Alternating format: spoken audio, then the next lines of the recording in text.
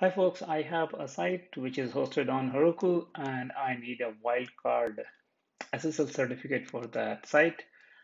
And uh, my previous experience has been quite tricky. I had to make notes and get help from others to rightly install the certificate on, on Heroku. Um, so in this video, I'm going to go through the whole process for a new site. And in this way, uh, this is a, a video which will be uh, mostly for myself, but I thought that might as well record it so that I could benefit from it and maybe it will help someone else also.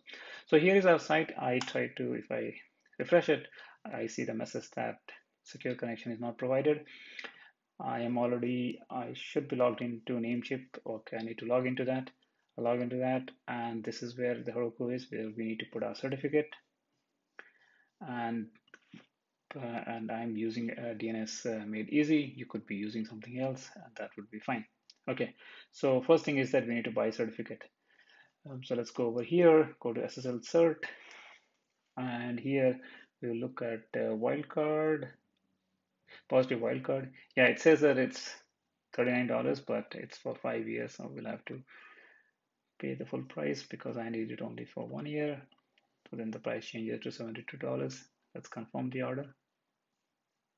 Okay, so now I'm going to log in and that's not really important. So I will uh, come back when I've already uh, made payment for it. Okay, so I just made the payment and the payment has gone through. I've made a payment of 72.88. Now let's go to manage. So here we'll activate it. Okay, so now we need the CS certificate. So for this, we need to go to terminal. And here in terminal, we need to execute this command.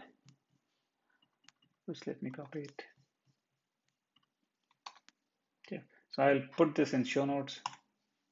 So it will ask for the country code. So I'll put US, province, California, locality, Pleasanton, organization name, quick binary, unit name, engineering, common name. For, so fully qualified host name. So here, since it is a wildcard certificate, so I need to put star dot need to help dot net. Email address, my email address. Okay, I don't need so now if you look at it here, we have server.csr and server.key. So now what we can do is go to our file and from here using the from the downloads we will be able to so this is what I'm doing. It's asking us to move the CSR file so let's just move the CSR file over here.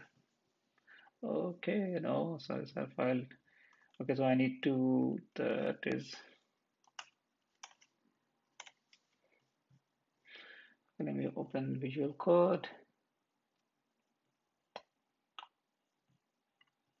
so it opened on the other editor I'll do here go copy the whole thing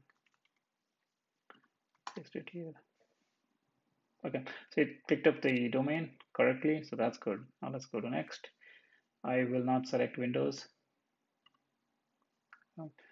so how are we going to authenticate? So I will be using DNS based approach. So let's use DNS. It will ask us to create a CNAME record. Okay, submit. Okay, done. Now here we need to get the CNAME record. So let's click here. And this is where I got stuck. I was not sure that here I need to click this pull down menu and then get record. I, I think that this interface is not that intuitive. I got stuck at that. Uh, so now if you get record, so here I will get the, what is the,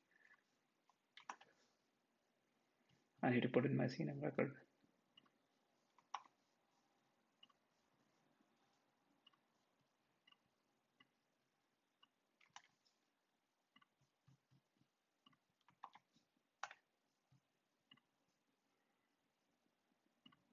Okay, so that's done.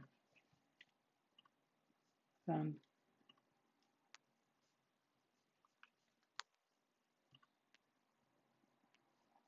So now we are getting the message that it's in progress. Usually it takes a minute or two and then it will say that uh, it's, it's ready. So I'm going to pause the video when it's uh, available, then I'll come back. All I will be doing is refreshing this screen. Okay, so it took us approximately a minute or two minutes. Now it says it's active. So let's go ahead and download the certificates. If I get the certificate here, let's open it up. Okay, so here if you look at the certificate, we have CA bundle, CRT. Uh, so what we need to do is right now is, okay, so now this is done. Now we need to go to uh, Heroku. Here we need to add configure SSL, go to manual certificate. However, before we add the certificate, we need to combine the two certificates, this one and this one. So the way we can combine them is we need to execute a command. So let's go to, yeah, so here, these two certificates are available we need to combine them. So cat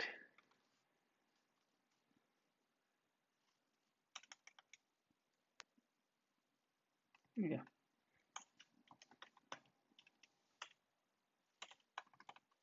Okay, so here we need to combine the first two certificates. So cat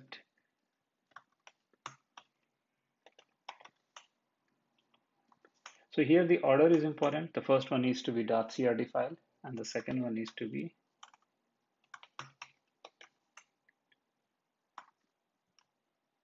bundle file. And we will do ssl bundle dot crt okay so now we have the crt file. So let's go to Heroku here we'll copy and paste the file from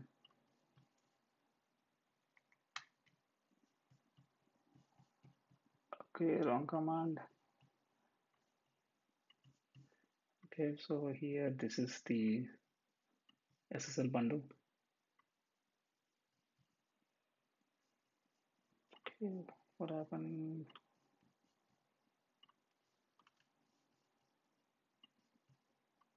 Okay, and the second one will be the server.key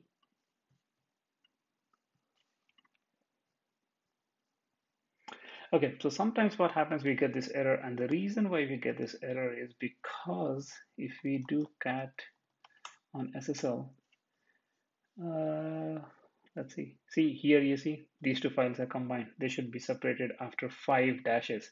So let's open these file in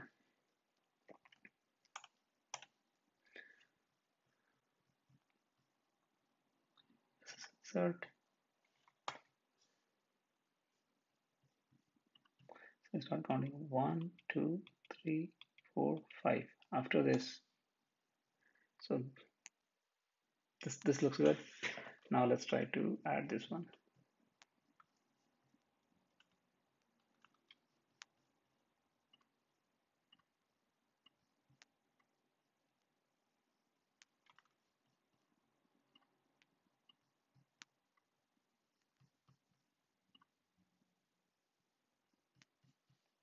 Okay, let's start from the beginning.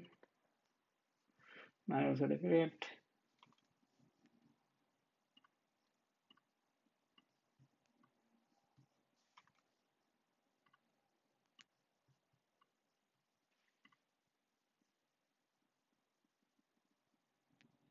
I don't know if you need both of them, but I'll go ahead and apply it.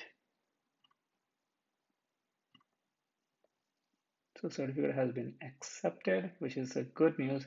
Now let's just try to we'll try to curl it and see if the certificate is working or not. HTTPS app.etohelp.net.